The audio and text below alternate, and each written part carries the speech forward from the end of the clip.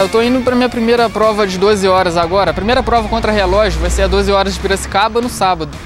É, é, assim, meu planejamento é tentar não parar e, e, andar o mínimo possível. Se eu tiver um, um ritmo muito forte, é minha estratégia. Se eu tiver um ritmo muito forte, é diminuir um pouco. Se eu quebrar, sentir que estou cansado, eu ando, mas parar é a minha estratégia. Eu estou indo com a ideia de, não, de tentar não andar e não parar.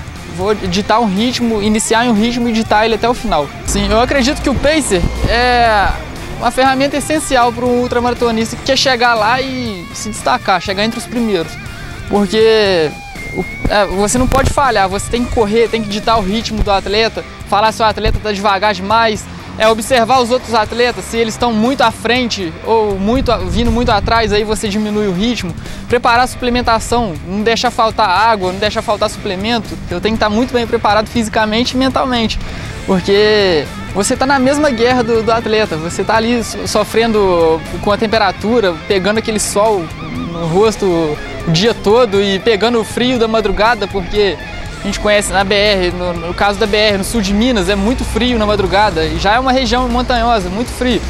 E é, você está sofrendo mesmo que o atleta, só que você, eu no meu ponto de vista, é, eu acho que você sofre um pouco mais.